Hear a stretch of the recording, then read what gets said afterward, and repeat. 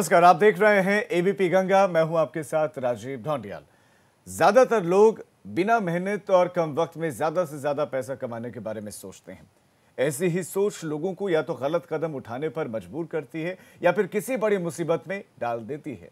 क्योंकि बहुत ऐसे शातिर दिमाग ठग हैं जो लोगों के सपनों को अपने मंसूबों की सीढ़ी बनाने की फिराक में रहते हैं और ऐसे ही एक शख्स का नाम है संजय भाटी।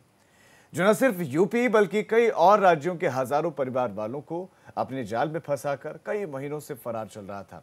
लेकिन जब हर तरफ़ बचने के रास्ते बंद हो गए तो उसे खुद को कानून के हवाले करना ही पड़ गया।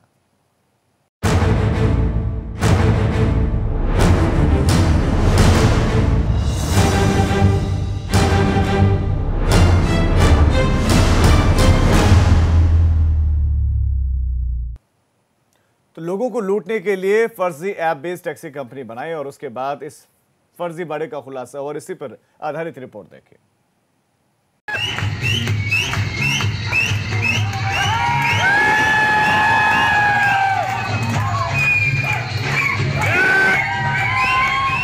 संगीत की तेज धुन के बीच, जश्न में डूबे इन लोगों के बीच, सफ़ेद टी शर्ट पहने इस शख्स को ध्यान से देखिए।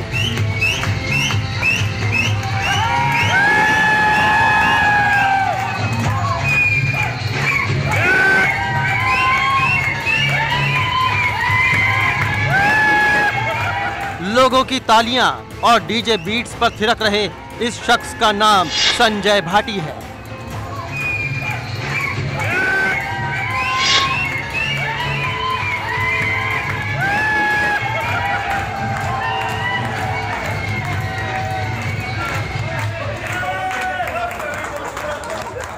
जिसने दस हज़ार करोड़ की जालसाजी के मामले में आखिरकार कर दिया है सरेंडर। बाइक बोट स्कैम में पुलिस ने अब तक 33 मामले दर्ज कर चुकी है और इसकी जाँच आर्थिक अपराध शाखा को सौंप दी गई है। लेकिन पुलिस ने जब शुरुआती जाँच में पाया कि ये मामला कई सौ करोड़ का है तो इसके लिए एक एसआईटी का भी गठन किया गया। फ़िलहाल इस पर एसआईटी और आर्थिक अपराध शाखा दोनों मिलकर काम कर रहे हैं। लेकिन सबसे बड़ी बात यह है कि जब एबीपी गंगा ने इस खबर को प्रमुखता से दिखाया तो जहाँ पुलिस हरकत में ही नहीं आई, बल्कि संजय भाटी के एक सहयोगी विजय कसाना को गिरफ़्तार भी कर लिया। वहीं इस गिरफ्तारी की डर से संजय भाटी ने भी आज कोर्ट में सरेंडर कर दिया। संजय भाटी ही वो शख्स है जिसके खुराफाती दिमाग ने यूपी उत्तराखंड ही नहीं, बल्कि पंजाब, हरियाणा समेत कई राज्यों में लाखों लोगों को लालच की ऐसी अंधेरी सुरंग में फंसाया, जिसमें लोग अपनी ज़िंदगी भर की कमाई गंवा बैठे।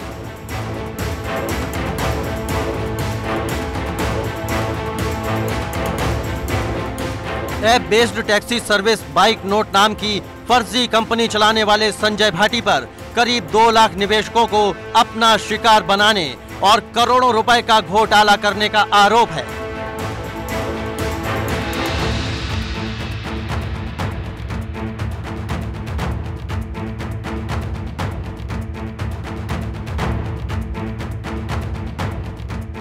लेकिन इस गोरख धंधे के खुलासे की भनक लगते ही संजय भाटी और उसकी फर्जी कंपनी के अधिकारी और कर्मचारी फरार हो गए। तभी से पुलिस संजय भाटी और उसके गुर्गों की यूपी समेत कई राज्यों में तलाश कर रही थी।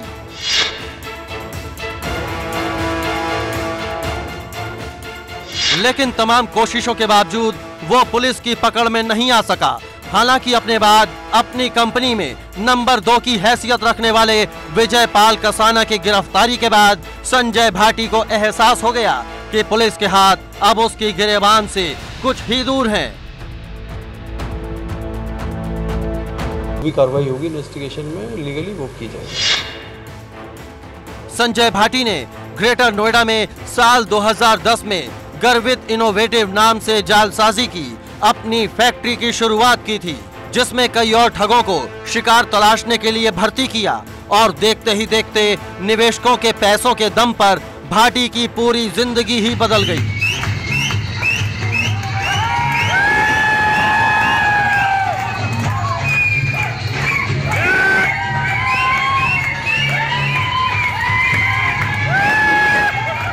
संजय भाटी की कंपनी के कार्यक्रम की इन तस्वीरों से अंदाज़ा लगा सकते हैं कि निवेशकों के पैसे हड़पने वाला भाटी कैसे मौज मस्ती भरी ज़िंदगी जी रहा था।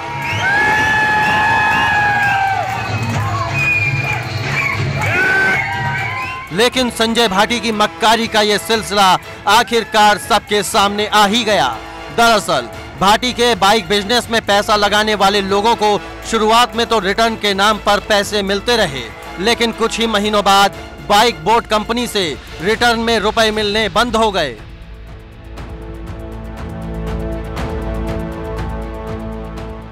जिस पर लोगों ने कंपनी से इस बात की शिकायत करने की कोशिश की तो टाल मटोल वाला रवैया शुरू हो गया। ऐसा हुआ कुछ कि मेरा पैसा नहीं म- महीना निकल गया, दो महीने निकल गए, तीन महीने निकल गए। बाइक्स यहाँ पड़ी, उन्होंने भेजी, इक्यावन की जगह छब्बीस बाइकें भेजी। पर जब पैसा आया नहीं ड्राइवर्स नहीं आए, कोई ऑफ़िस की व्यवस्था नहीं हुई, और मैंने देखा लोग और भी मेरी तरह परेशान है, फिर मैंने कंपनी के बारे में यूट्यूब पे चेक किया न्यूज़पेपर्स में चेक किया तो पता चला मेरे जैसे तो हज़ारों लोग हंगामा कर रहे हैं वहाँ पे। कुछ निवेशकों ने खुद कंपनी के मालिक संजय भाटी से मिलकर इस मामले की शिकायत की, लेकिन तब तक काफ़ी देर हो चुकी थी। हालाँकि तब तक लोगों को इस बात की भनक नहीं लगी थी कि संजय भाटी उनकी कमाई पर डाका डालकर फरार हो चुका है। तो मैं गया एफआईआर करवाने के लिए। एसएसपी साहब ने कार्रवाई का आदेश दिया और उधर से कंपनी की तरफ़ से मेरे पास कॉल आने लग गए कि आप अपनी एफआईआर वापस लो। हम, आपका पैसा जो है उसको लौटा देंगे, बट कोई कार्रवाई मत करो आप। तो मैं उससे डरा हुआ था और वो शायद मुझसे डरा हुआ था, स्थिति ये थी। तो धीरे धीरे ऐसा हुआ कि उस मैंने वहाँ जाने से मना कर दिया उनके ऑफ़िस में। तो उन्होंने एक विजयपाल नाम का आदमी है जो उसको चेक दिया उसके साइन लिए कितने का चेक दिया? बत्तीस लाख का कि सुनील मीणा को हम उसका पैसा लौटा रहे हैं और वो ये सेटलमेंट है हमारा। उसमें मैंने साइन नहीं किया था ना मेरा अंगूठा लगा वो विजयपाल ने उस मेरी तरफ़ से साइन कर दिया था और वो मेरा चेक ले आए थे। ऐसा नहीं है। कि दिल्ली एनसीआर समेत कई शहरों में चल रहे संजय भाटी के इस गोरख धंधे की शिकायत नहीं हुई। लेकिन पुलिस के ढुलमुल रवैये की वजह से ही ये शख्स लोगों को लूटता रहा, जिसकी वजह से कई घर बर्बाद हो गए। लेकिन लाखों लोगों की ज़िंदगी बर्बाद करने वाला ये शख्स अब सलाखों के पीछे है। हालाँकि संजय भाटी के चंगुल में फंसकर अपना सब कुछ गंवाने वाले लोगों को उनका पैसा वापस मिल पाएगा भी या नहीं, ये बड़ा सवाल है।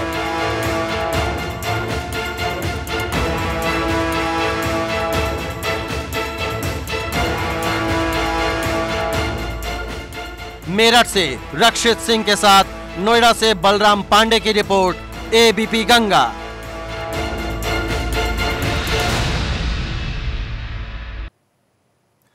लोगों को लूटने के लिए बनाई गई फर्जी app based taxi company bike bot के फर्जी फर्जीवाड़े का खुलासा होते ही संजय भाटी फरार हो गया था।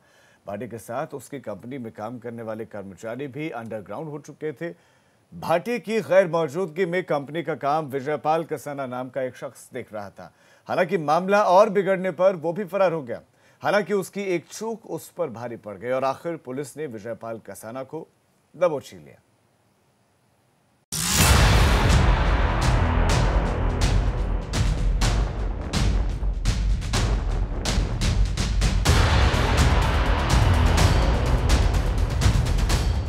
कतार में खड़ी नीले रंग की सैकड़ों बाइक्स और स्कूटरों की ये तस्वीरें आपको याद होंगी।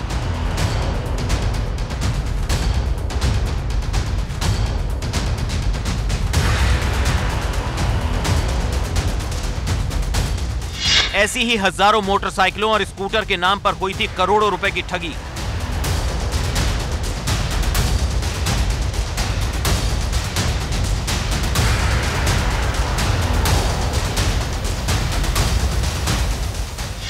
पूरे मकड़ जाल के मास्टरमाइंड का नाम है संजय भाटी, जिसने कर दिया है सरेंडर।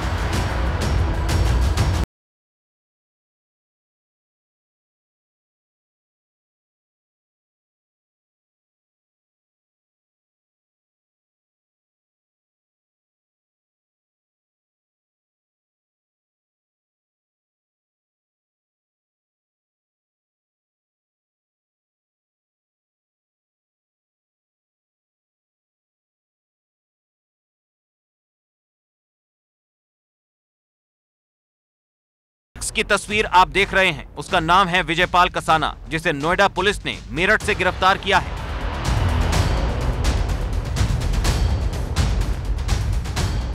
बाइक टैक्सी के नाम पर हो रहे इस गोरख धंधे के खुलासे के बाद से ही विजयपाल कसाना फरार चल रहा था। लेकिन लोगों की गाढ़ी कमाई डकारने वालों में शामिल शातिर विजयपाल अपनी एक गलती की वजह से पुलिस के हत्थे चढ़ गया।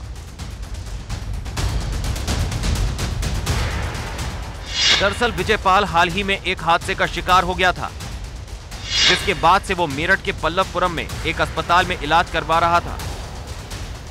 लेकिन इस बात की खबर उसका शिकार बने कुछ निवेशकों को हो गई। और उन्होंने पुलिस को विजयपाल की मौजूदगी की सूचना दे दी, जिसके बाद नोएडा पुलिस ने मेरठ से विजयपाल कसाना को दबोच लिया। के साथ साथ बाहर के भी कुछ राज्यों के पाए गए हैं। और ये लोग लोगों से पैसा लेते थे और उन्हें धोखाधड़ी से कि उनका पैसा दुगना उन्हें मिलेगा और उनकी बाइक जो है वो इस तरीके से लेते थे और सारा फ्रॉड लगभग एक कस्टमर से कितना पैसा जमा कराते थे? एक कस्टमर से करीब बासठ हज़ार रुपये के करीब जमा कराते थे और उससे प्रलोभन देते थे कि एक वर्ष में उसकी दुगनी कीमत उसे जो है कस्टमर को मिलेगी इसी प्रकार से उन्होंने फ्रॉड किया। सर इसमें जो इनकी दूसरी कंपनीज़ हैं जो ये गर्वित इनोवेटिव से अलग जो बाकी दूसरी कंपनीज़ है क्या उनके खिलाफ भी कोई कार्रवाई की जाएगी? और सारे जो इनके बीच में व्यापारिक इनके प्रतिष्ठान है सभी की इन्वेस्टिगेशन बाइक बोर्ड जालसाजी मामले में पुलिस कई दिनों से आरोपियों की तलाश कर रही थी जिनमें गिरफ़्तार आरोपी विजयपाल कसाना भी एक अहम कड़ी है।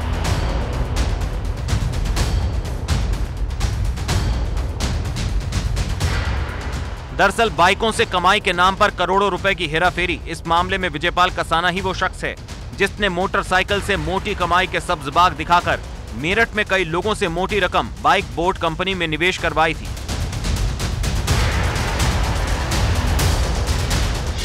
विजयपाल ने 2017 में बाइक बोट स्कीम में निवेश किया और मेरठ में चेन बनाकर 5000 से अधिक बाइकों में निवेश करवा दिया।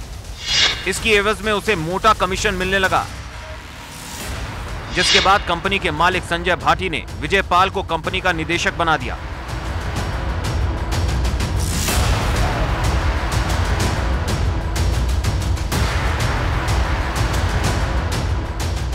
हालाँकि पुलिस ने अब विजयपाल कसाना को गिरफ़्तार तो कर लिया है, लेकिन इस मामले में नोएडा पुलिस भी सवालों के घेरे में है, जिस पर इस मामले में आरोपियों की गिरफ्तारी में देरी करने के आरोप लगे हैं। क्योंकि अगर पुलिस मक्कारी के इस मकड़ जाल का खुलासा होते ही हरकत में आ जाती तो संजय भाटी के शिकार हज़ारों लोग आज अपनी गाड़ी कमाई गंवाकर दर बदर नहीं हो रहे होते।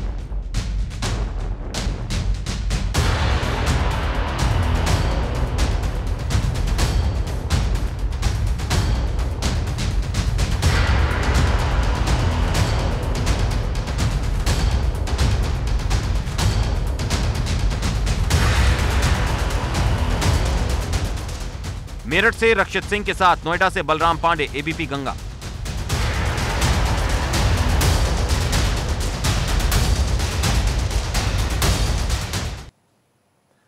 आखिर कैसे लाखों लोग शातिर संजय भाटी के चंगुल में फंसते चले गए? दरअसल भाटी ने लोगों को लूटने के लिए स्कीम बहुत पहले ही तैयार कर ली थी और दो साल पहले उसने ऐसा ऑफ़र दिया, अपनी जालसाजी की कंपनी के ज़रिए लोगों को मुनाफे का जिसे लोग ठुकरा ही नहीं सके। और यही उनकी सबसे बड़ी गलती साबित हुई और संजय भाटी ने अपनी बाइक बोट कंपनी से कैसे लाखों लोगों को लगाया चुना? इस रिपोर्ट में देखिए।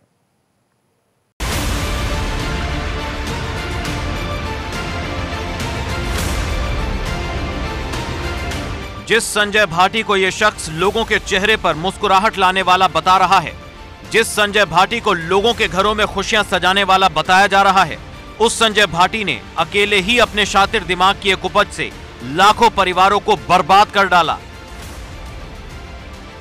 बाइक टैक्सी के बिज़नेस का झांसा देकर संजय भाटी ने हज़ार दो हज़ार नहीं, बल्कि परिवारों से उनकी पाई पाई निकलवा ली और निवेशकों के पैसे हड़प कर उसने कर डाला करीब दस हज़ार करोड़ रुपए का फर्जीवाड़ा। लेकिन आखिर ये सब उसने किया कैसे? इस पूरे घोटाले को समझने से पहले आप कतार में खड़ी इन मोटरसाइकिलों को देखिए। दरअसल, इन नीली बाइक्स के ज़रिए ही संजय भाटी ने लोगों को मोटी कमाई का लालच देकर अपने चंगुल में ऐसा फंसाया, जिससे वो शायद ही कभी बाहर निकल पाए। 2017 में संजय भाटी ने अपनी बाइक बोर्ड कंपनी से 50 करोड़ रुपए की दरअसल, संजय की शैतान खोपड़ी में कई साल पहले ही लोगों को लूटने का पूरा ब्लूप्रिंट तैयार था, जिसकी नींव उसने 2010 में ही डाल दी थी। संजय भाटी ने 9 साल पहले गर्वित इनोवेटिव प्रमोटर्स लिमिटेड नाम की एक कंपनी बनाई थी। जिसके ज़रिए उसने 2018 में बाइक बोट नाम से एक स्टार्टअप शुरू किया, जो करीब 50 शहरों में app based bike taxi service मुहैया कराती है। इसके लिए गूगल प्ले स्टोर से बाइक बोट ऐप डाउनलोड करना होता था, जिसकी मदद से मोटरसाइकिल बुक की जाती थी, जो ओला और उबर जैसी टैक्सी कंपनियों की तर्ज पर टैक्सी सर्विस देती थी। संजय भाटी की कंपनी ने 50 शहरों में 1500 से ज़्यादा बाइक लॉन्च की थी। और जल्द ही नोएडा, ग्रेटर नोएडा, गाजियाबाद, मेरठ, कानपुर और लखनऊ समेत कई शहरों में ये लोकप्रिय हो गई। ग्रेटर नोएडा के एक छोटे से गाँव से निकलकर संजय भाटी चंद दिनों में अमीर बनना चाहता था। और यही वजह थी कि संजय भाटी ने बाइक बोट के नाम से एक ऐसी स्कीम लॉन्च की जिसमें यह प्रलोभन दिया गया लोगों को कि आप एक बाइक की कीमत इस कंपनी में जमा कीजिए। उसके बदले में कंपनी आपको 8 से 10 परसेंट का प्रति माह मुनाफा देगी। यानी आपको बासठ हज़ार एक सौ रुपए इस कंपनी में जमा करना है और महज एक साल के अंदर ये रकम दूनी करके आपको वापस कर दी जाएगी। और यही वजह था कि लोग इस लालच में फंसते गए और देखते ही देखते ये कई सौ करोड़ का घोटाला बन गया। जालसाजी के अपने इसी मास्टर प्लान को संजय भाटी ने लाखों निवेशकों के सामने अपने बिज़नेस प्लान की तरह रखा और उन्हें अपनी कंपनी में निवेश करने का ऐसा ऑफ़र दिया कि इसके बदले उन्हें हर महीने इसका रिटर्न मिलता रहेगा, जिसके बाद निवेशकों ने संजय की बाइक बोट कंपनी में अपनी कमाई और बचत के पैसे लगाना शुरू कर दिया। लोग ये सोचकर संजय भाटी की कंपनी में पैसे लगाते रहे, जिस बाइक में उन्होंने निवेश किया है। वो सवारियाँ लेकर दौड़ती रहेगी और लोगों को हर महीने एक मुश्त रकम मिलती रहेगी। प्लान के मुताबिक, बासठ हज़ार एक सौ रुपए के निवेश पर नौ हज़ार सात सौ छप्पन रुपए का रिटर्न देने का वादा किया गया था। यानी साल भर में एक लाख सत्रह हज़ार एक सौ अस्सी रुपए का रिटर्न। इस तरह बाइक बोट कंपनी ने लोगों से लाखों रुपए जुटा लिए। संजय भाटी ने पैसा जुटाने के लिए देश भर में फ्रेंचाइजी तक बांट दी। कंपनी ने तीन, पाँच या सात बाइक की रकम का निवेश करने पर साल भर में कमाई दोगुनी से ज़्यादा होने का दावा किया था। इसी लालच में लोगों ने अपने जीवन भर की पूंजी लगा दी। ये लोग पैसा लेते थे कस्टमर से और पर बाइक बासठ हज़ार रुपये करीब लेते थे। और फिर अपने कस्टमर्स को ये प्रलोभन देते थे कि हर महीने कुछ अमाउंट मिलेगी और पूरे एक साल में इस अमाउंट का डबल अमाउंट उन्हें वापस मिल जाएगा। इसी प्रलोभन से बहुत सारे कस्टमर्स से इन्होंने ठगी की है और उसी का ये पूरा प्रकरण है।